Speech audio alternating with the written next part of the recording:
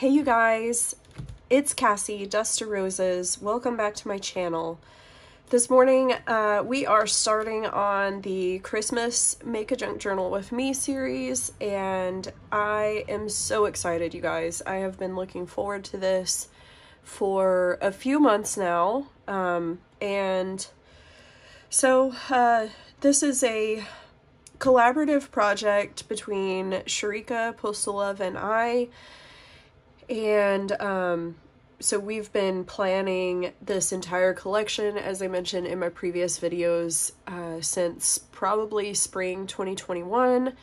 And so it's just really, really exciting to see it all coming together and um, and this this Make a Junk Journal with Me series was something that I was extremely passionate about.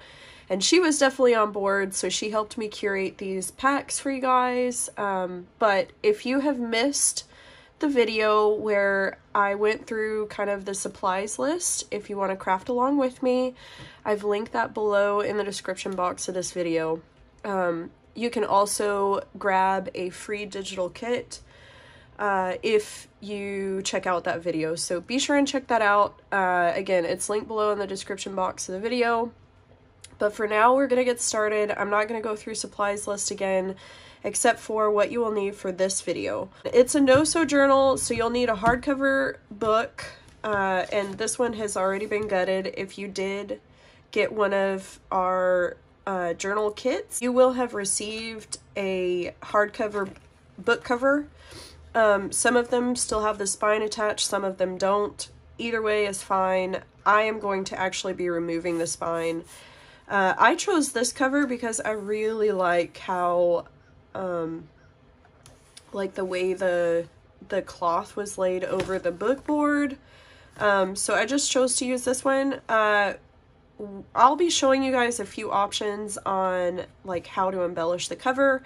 I'm actually going to make like a kind of flip front cover um, using a vintage label. You can use a vintage postcard. Uh, anyway, I'm getting kind of lost in the woods. I've got a billion ideas. Uh, but but yeah uh so a hard book cover with or without the spine. I'll be showing you guys how to remove the spine um and i'll be showing you guys how to make kind of a soft cover or a soft spine um like traveler's notebook style journal.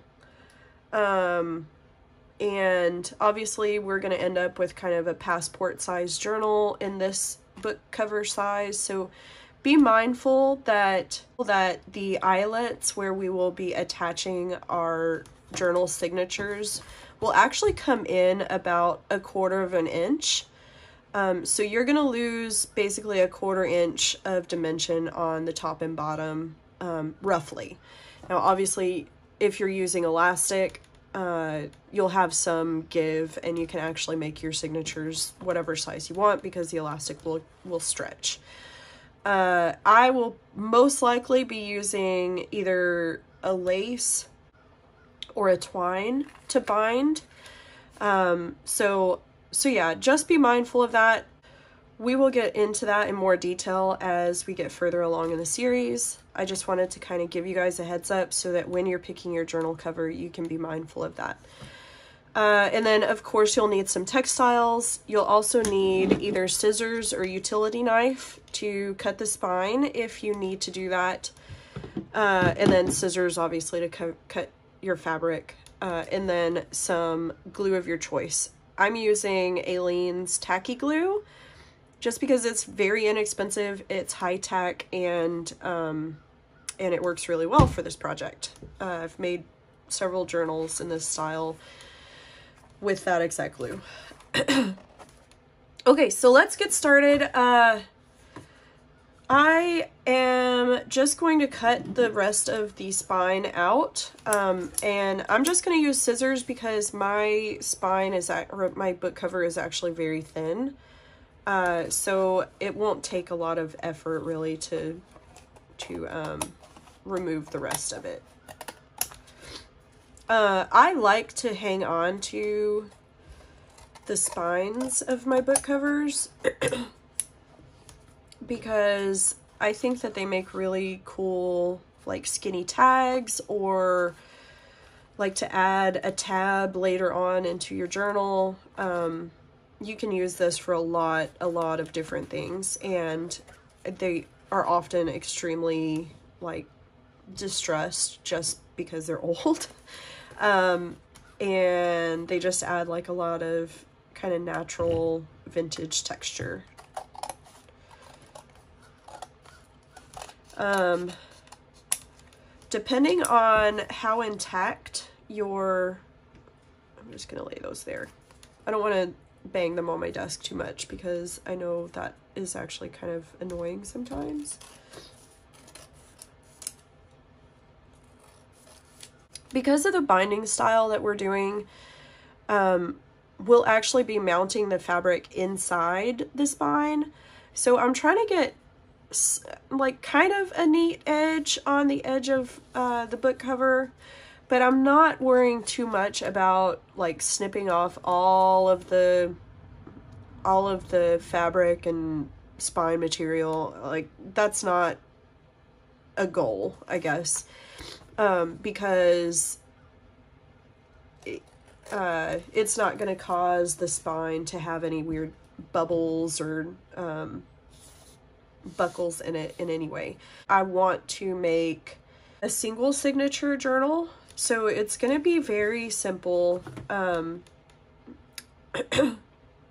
but I do want to have maybe approximately an inch and a half wide spine and that will allow a lot of room for the journal to grow as we start adding textiles and embellishments and things into pockets and um, and then we can also add a pocket to the inside of the cover or a flip out or anything like that. Um, having a wider spine obviously is going to allow the journal to grow more.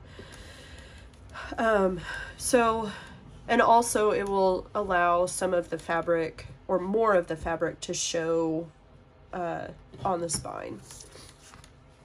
So now I just want to decide which of my fabrics I want to use.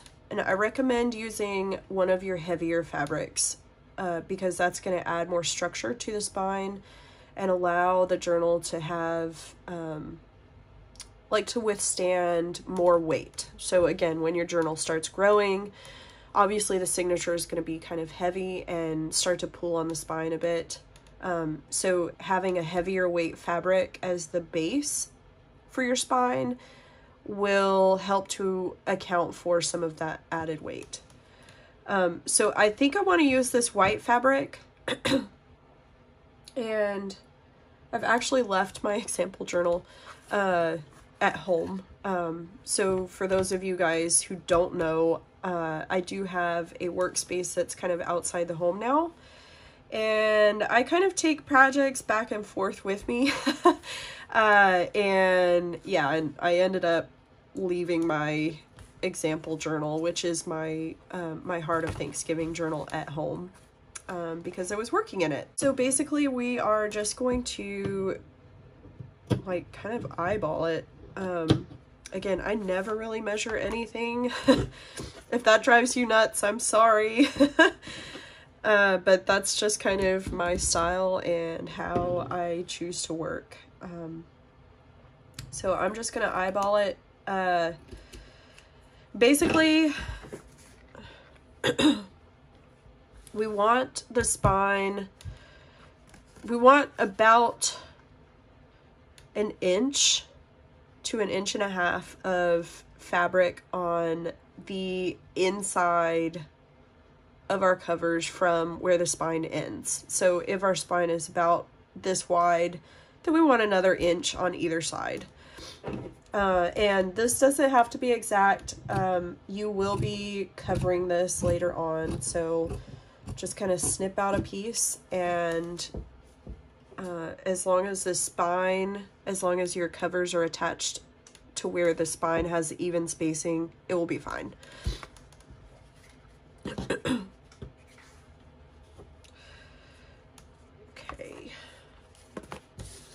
Should just go lay that out of the way. Sorry if the sun is getting bright. Um, it was a little overcast this morning, so I opened the shade and now it's starting to come out, uh, which is fine. I, I would prefer it to be sunny. This fabric has kind of a uh, design to it. Um, so it's it's like from a vintage tablecloth actually. Um, but it does have snags and spots and stains uh, just because it, I mean, it is vintage. So, so yeah. Okay, so basically all we're going to do is add some glue to well first of all if if your end pages or the inside of your cover is loose you'll want to kind of remove that. Um, and I usually just tear it down until it won't tear off anymore easily. And that just kind of creates like this more solid surface. Uh, because again, we're going to cover the inside and so we want this to be something that is going to hold after we glue it on. Um, so go ahead and do that to both sides, the front and back cover. This actually has some old wrapping paper on it. And if it's not loose, I would say just don't worry about it too much. Um,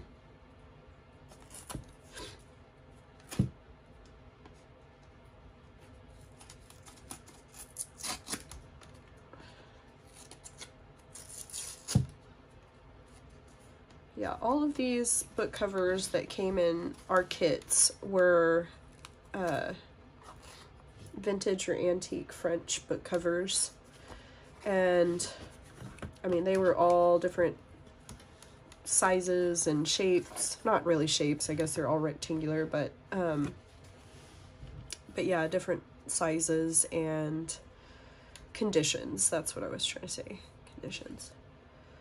Um so I always just add my glue to about the first inch or so generously And again, you can use any type of glue you'd like. This is kind of my preference of glue for this type of project. Um, you can also choose to kind of smooth it with your pinky. I recommend the pinky. You can use uh, obviously a, a brush if you want. Um, I've always kind of just been the get your hands messy kind of girl. So I just used my pinky. And then just place it down. And then do the same thing with the front. Um, a note about if you have a directional book cover uh, and a directional fabric, the mine is not directional, so I did not worry too much about it. Or the the cover is, but the fabric is not. Um, but if you are matching a directional book cover and a directional fabric, make sure the orientation is correct at this point. Um, because obviously if you place your book cover upside down, then your your spine is going to be upside down or your cover is going to be upside down. Um, and and yeah so i mean obviously the benefit of working with like an Aleene's or other type of wet glue that dries slower is that you can adjust if if you need to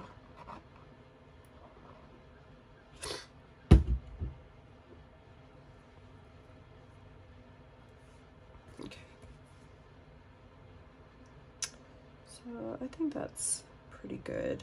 Okay. So yeah, see it's very, very, very flimsy right now. Um, so now when we flip the cover over, you can actually go in and add some more glue just right along the edge. Again, we're gonna cover all of this, so It does not have to be perfect or neat or clean. The point is we want everything to be stuck down very, very well. So yeah, I've got quite a bit of fabric on this side to glue.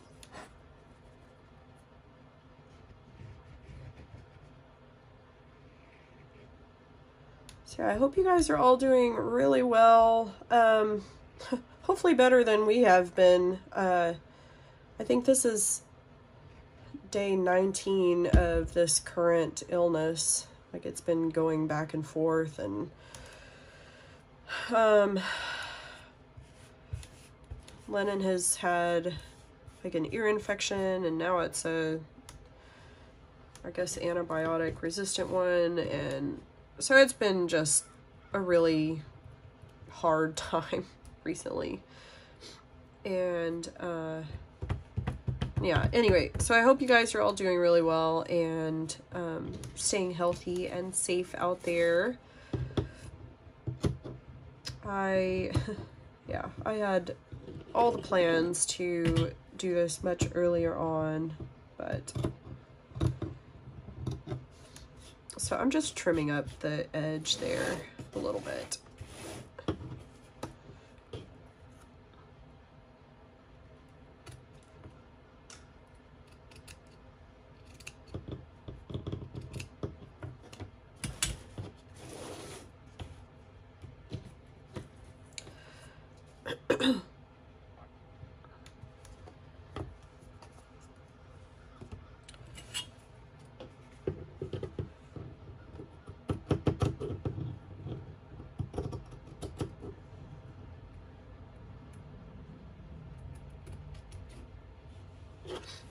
The next step, now obviously, uh, just a note, you can layer fabrics. So let's say I wanted to add in a piece of lace or um, like one of these stripes or something like that. Uh, you could obviously do two different types of fabric and the process would be the same, you know, just glue the cover to both pieces of fabric or stack them um, so do one and then the next one. Uh, so I did not do that because I'm going to actually create kind of a bottom patch, patch, uh, bottom and top patch where I'll actually attach my eyelets. So that's going to reinforce and make the top joining points a lot stronger. Um, and you can do a combination of all three. So, uh, so yeah,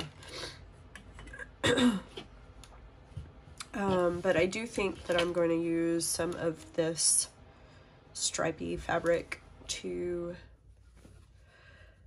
do the top and bottom. Um, so let's get some of these scraps out of the way. I basically want maybe like an inch on the top and bottom. and I want it to be folded over. Uh, so evenly on the top and the bottom, um, an inch on the outside and the inside. So we need to cut a strip of fabric that's basically about two inches wide. Uh, and I am just going to hand tear mine. And I don't know why this fabric uh, I mean, it's a vintage Cranston print. Um, but for whatever reason, it is crooked. uh, like, I guess originally it came off the bolt crooked, maybe? Or, anyway. Um, but it's fine. I just, you know, deal with it.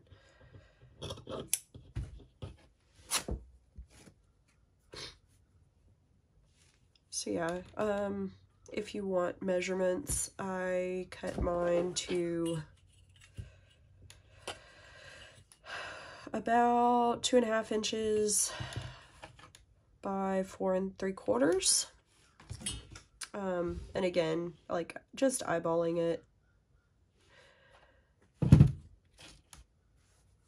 And then obviously you can save whatever is left over from this offcut, the two two and a half inch offcut that we made to make tabs or use in a pocket or, you know, whatever, whatever you need to use it for. Or even a slow stitching project later.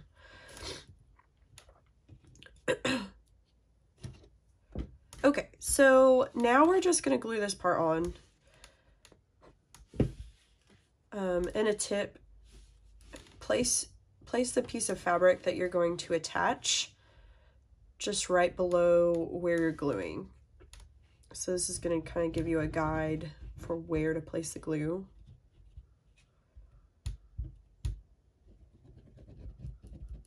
Again, not being being a little bit more careful because this is obviously the cover or the outside of the cover.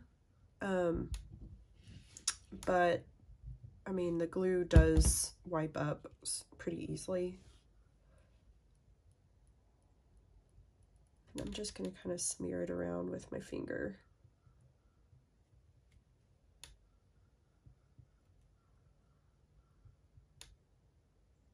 So I'm going to glue on the top part and the bottom part.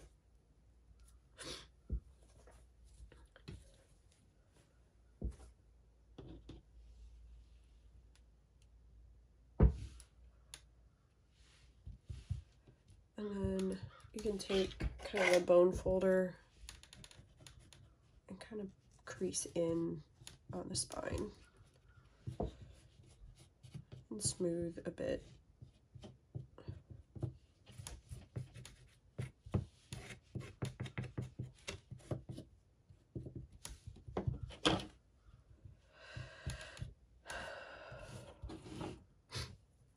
And then do the same thing on the top.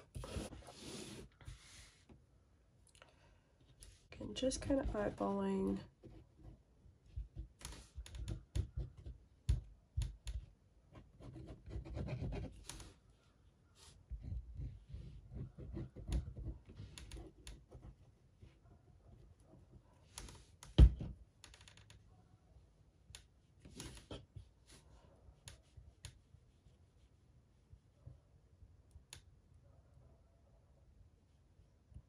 had originally planned to do this as like a record the whole series and then do voiceovers. Um, but I feel like I actually forget to say things when I do voiceovers. Or, you know, it, it's just easier to explain as as I'm working. So hopefully you guys are okay with that. um, but I would like to know in the comments if you have a preference. Um, obviously not for this series, but for future videos. Do you prefer voiceover or the live chatting? And me fumbling for words at times. Okay. so now all we have to do is I just kind of fold the fabric up so that I get an idea of where the glue belongs. And this really only matters for in the actual spine section because again, we're going to cover up the front and the back covers inside. Um, so that doesn't really have to be perfect. We do just want to make sure everything is glued down very well.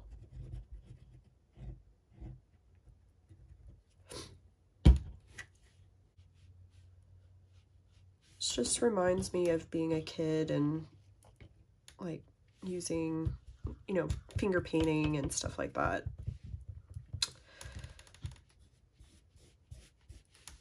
So now,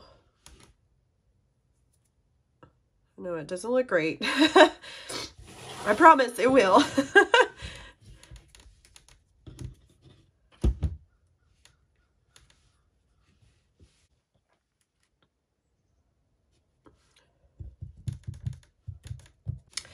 So we are ready to um, do the inside like lining of the cover. Uh, if you got one of my kits, you did get a piece of vintage textured wallpaper that is large enough to uh, do the front and the back cover. Um, and so all we're going to do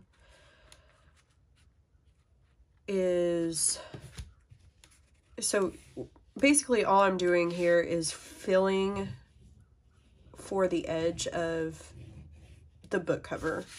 And I'm roughly lining my wallpaper up with that edge. And then I'm just going to make a tiny little mark on the paper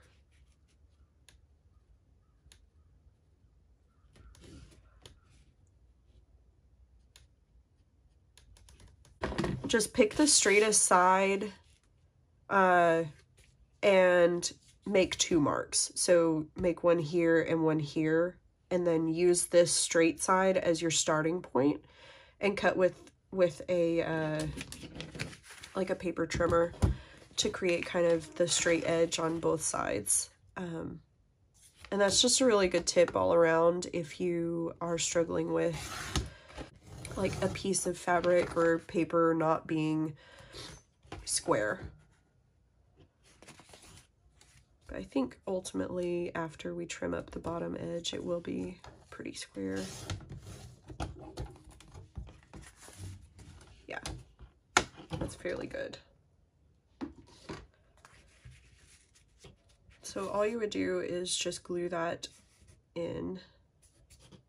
I might trim just a tiny bit off right here just with my scissors.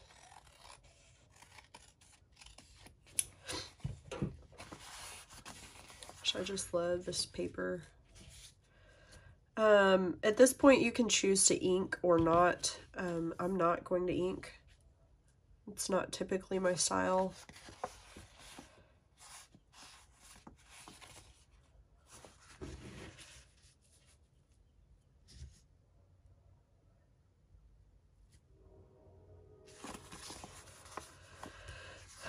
Piece actually has a little tiny hole in it um, which is fine. I mean, we're probably going to add a pocket or something.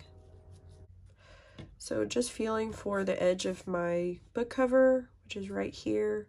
I just want to mark just inside that line. And then the same thing on the other side.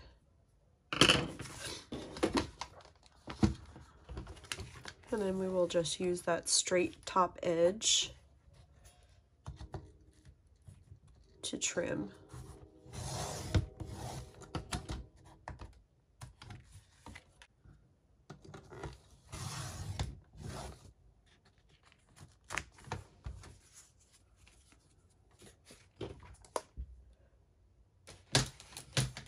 And now to mark the bottom. And you can use your original first piece to make sure that the two covers have the same size or the same height. I don't know, that's just kind of a thing for me.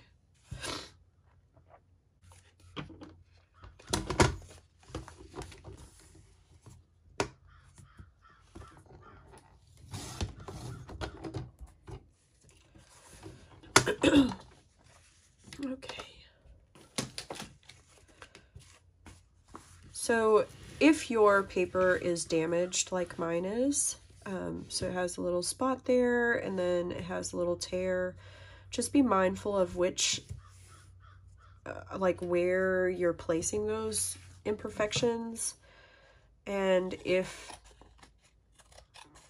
if you'll be covering them later. So I plan to create kind of a like a tuck spot or pocket on the front cover and so I want to make sure those imperfect areas are going to be covered. but again, I mean, it's just part of the life of this, uh, this paper in particular. So, I mean, you can choose to celebrate that and let it show or to cover it. Okay. So now, just add some glue.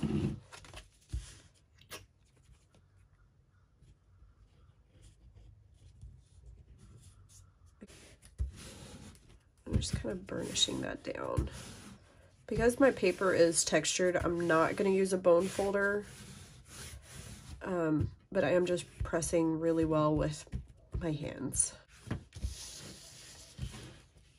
So yeah, see how like finishing off the inside covers just really helps to bring it all together and um, create kind of a more polished look.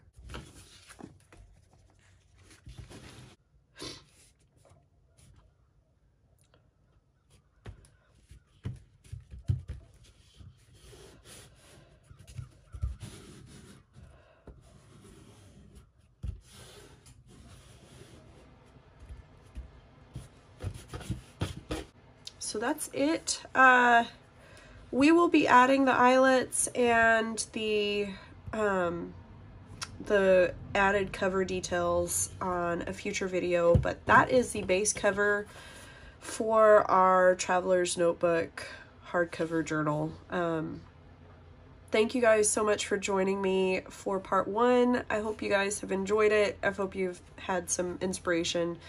Uh, I'd love to see what you've made again. If you are in, on Instagram and are making along with me, check out the hashtag below uh, and share your progress. Um, until next time, I hope you have a great rest of your day and happy crafting.